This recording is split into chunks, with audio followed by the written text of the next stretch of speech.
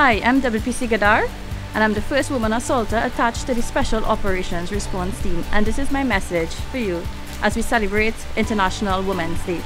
It was not an easy road for me, I won't lie. It took a toll on me mentally, physically, and of course emotionally. Challenge yourself. Go for something that you think that you cannot do. And once you believe in yourself, you will be able to do it. It's a great time to be a part of the Trinidad Tobago Police Service, and it's even better being a woman. This is just the beginning. I am WPC Gadar, and I choose to challenge.